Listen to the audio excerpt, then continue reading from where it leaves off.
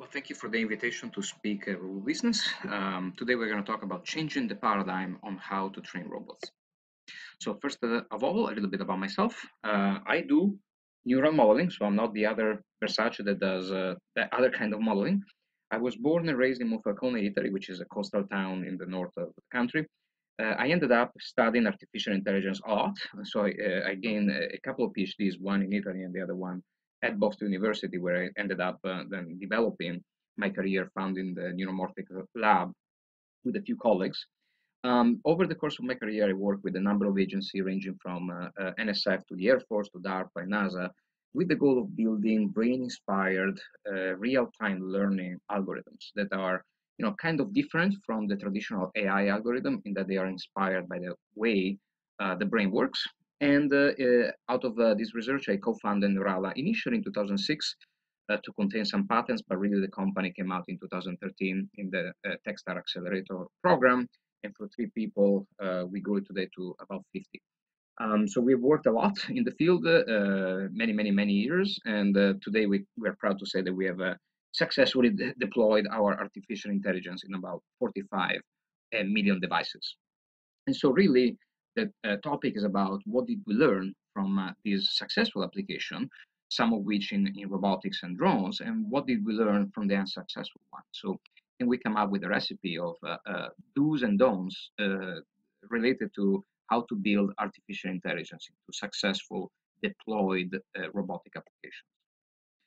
So I live in Boston, and I came from Boston to the Bay Area. Um, throughout the trip, uh, despite uh, you know Boston and the Bay Area are two of the areas where uh, there is uh, uh, the you know notable uh, robotic research and deployments, I didn't see any of these robots around in any real practical application. So it seems that um, there is a gap between what we see on YouTube in terms of you know robot that do various tasks from the entertaining to the useful to our day-to-day reality.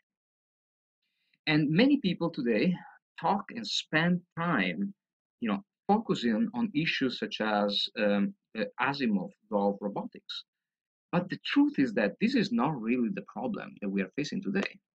And uh, if you allow me to get biblical for a second, I would say don't worry about tomorrow, for tomorrow will bring its own worries. Today's trouble is enough for today. So what's today's trouble in robotics is that they don't work right? So that's that's the biggest trouble that we have. It's it's useless to focus on uh, you know robotic laws if the robots that we're actually building don't don't really work. And so, what is the main issue? Well, there is a, a, a mismatch between what people expect from robots, which is essentially to be as smart and as useful and as dexterous as, as humans or at least as animals, and the reality, which uh, is that robots are brittle, rigid, and they tend to be non-adaptive. So thankfully, uh, researchers like myself have spent many, many, many years researching artificial intelligence and in particular how the brain works. And so bridging the gap between what our expectations are, which is essentially human-like behavior, and what can be done today with artificial intelligence. So over the course of many decades, uh, researchers have cracked uh, as, as, as much as possible the code of, of the brain and neurons and network of neurons that comprise the brain and eventually give rise to behaviors that are useful in, in, in robots. So there is enough today uh, to design artificial intelligence inspired by the way robots behave, uh, by the way humans behave to, to, to move it into, into robots.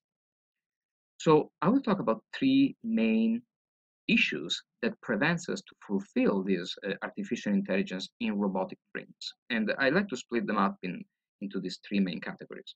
The first one is AI, easy peasy. So there is an attitude versus leaving AI to the, towards you know the end because it's easy to do. The second one is uh, the training regimen that we undertake when, when building robotic application. And the third one is sort of a uh, the, the misunderstanding of what is the right uh, balance between humans and robots when building a, um, a self-contained deployable robotic application. So let's look at the first. AI easy peasy. Well, uh, I like to, to think of a, a effective robotic application as solving simultaneously three main class of problems. And I call this the body, the, the brain, and the mind. So the body is to build effective robotic bodies, which are chassis, actuators, sensors, and so forth. The second one is to equip them with the brain, which is the right uh, um, computational medium for them to be able to process the information and, uh, and move around. And the third one is the mind, which is uh, sort of the algorithm or the software that powers this robot. And so the usual attitude uh, for, for, from the robotic industry is, unfortunately, uh, is to focus is to leave the mind for, for the last, right? So let me focus on the on, the on the body. So spend a ton of time and money in designing the robotic body, and then we'll see about the mind. You know, it's you know leave, leave it until the end. So this is a typical trajectory that we have seen over and over again over you know 50 years being followed by robotic companies. And the one that don't follow this path are the one, the, one more likely to succeed. So the first step is to spend a ton of time and money designing the body. And that's logical because a robotic company is primarily um, you know, intended to build a, a physical uh, apparatus. And so they, they do that. And then they realize, well, we need kind of the AI part, right? And so, uh, and here's perhaps the most uh, dangerous step, which is, well, robotic companies are filled with very intelligent people but sometimes they, they are they think of you know themselves maybe too intelligent uh, and and they say well you know we'll do it ourselves don't worry you know it's just ai and so somebody gets pulled and crowned uh, their their ai guru and so then then he has to build the ai system. So six months later he's obviously stuck and say well give me another week and uh, 3000 6380 weeks later the robot doesn't work and perhaps they, they run out of money so why is that so hard? Why is the guy stuck? Well, one uh, piece of uh, why this happens is actually the second, uh, you know, sort of a, a, red flag that people should look at, which is how are robots trained?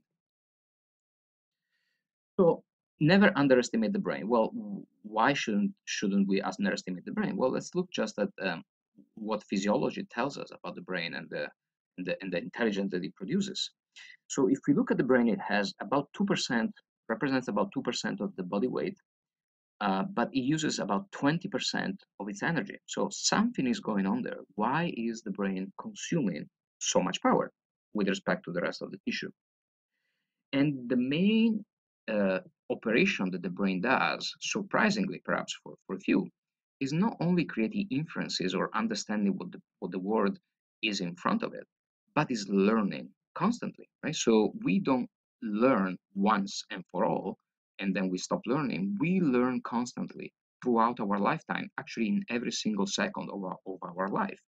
And if you look back at the title with this little icon here, you remember I flashed you this image uh, about Versace. Well, many of you, if not all of you, will remember it. And how come that you remember it? Because you have learned it. So you didn't just look at it and understood it, you actually incorporated that into your synaptic waves. And so with my CTO, we actually went through the process of calculating how many times uh, a, a, typical brain learns throughout a lifetime. So if we calculate that there are about 100 billion neurons and 500 trillion synapses in an average brain, and on average, we live for about 2 billion seconds. Well, and also assuming that each neuron, which are the basic processing units in our brain, emits a spike per second, and the spike is you know, a typical event, a communication event, if you will, between two neurons. Then, which is actually, by the way, a fairly conservative number, then the total number of learning events in a typical brain equals one septillion, which coincidentally seems to be the number of stars in the universe. So there is a staggering amount of learning going on in a typical human life, and that's why the brain eventually consumes so much power. Well, what do we do with robots? With robots, we don't do that. And that perhaps is the second biggest problem uh, in, in, in designing robots, as, as I was mentioning. And we realized this working with NASA many years ago when NASA asked us, well, we don't want, we, please design us an AI that enables uh, a robot such as the Mars rover to explore autonomously and learn in real time uh, in, in when presented in a completely foreign environment. And so in that case, we looked at the AI available back then, which paradoxically is also the main AI that is built today.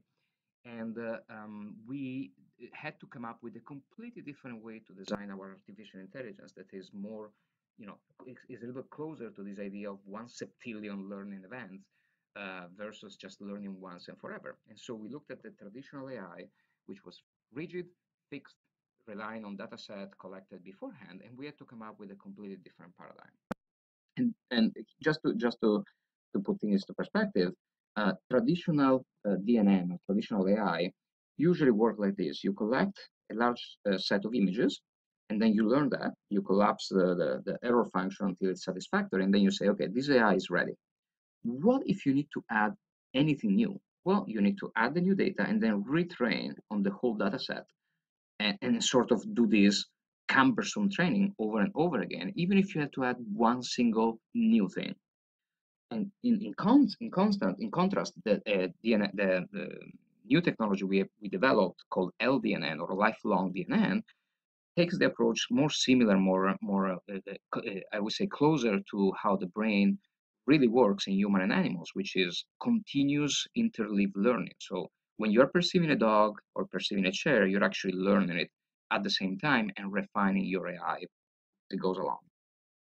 And so this technology is radically different, right? So conventional DNN take a long time to train, and then when they're trained, their AI is fixed. Whereas uh, this other kind of technology kind of learns very, very quickly. And here is an example of how we have productized this tech and eventually put it in many, many million devices, uh, making it run in a, in a form factor that is as small as a, as a cell phone and be able to add knowledge continuously on the fly, pretty much like humans are able to do. So that's the big difference, right? So when we train robotic system today, what we are doing is we are collecting a huge amount of data, showering the data to the robot all at once, and then the robot is done, right? So the robot is, is deployed versus this idea of continuous integration or continuous uh, development approach that actually pervasive in the software industry, but hasn't made it yet to artificial intelligence. So the idea of building small incremental changes and then uh, redeploying and testing and, uh, and you know withdrawing in case the problem arises.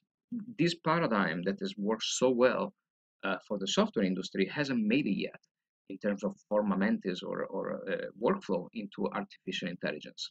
And when that happens, I think the robotic application in particular will be the one benefiting the most from this continuous learning and, and the um, iteration and refinement of AI. The third point is uh, um, almost orthogonal, but extremely important to the other two, and has to do with the, uh, the idea of how people really conceptualize uh, an AI-powered robot versus the idea of a robot in collaboration with a human to solve a particular task.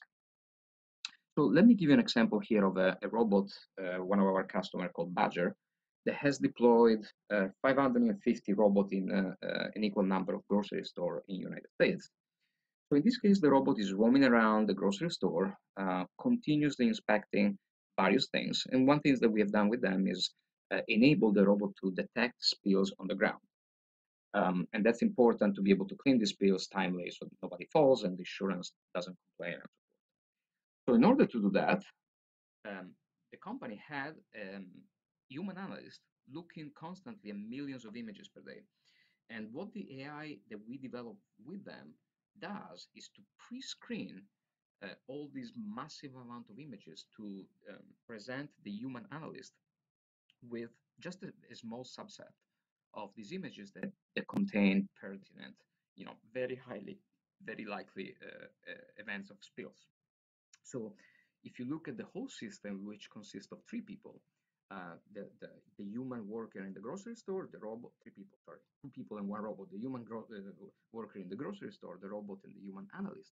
AI is sort of sitting in the middle, catalyzing and reducing the amount of time the analyst looks, looks at images and, and, and the complex between analyst and robot reduces the time where the human worker has to look uh, for spills on the ground. And so overall, the result is that the, the human worker in the grocery store has more time to actually do what they're supposed to do, which is customer service.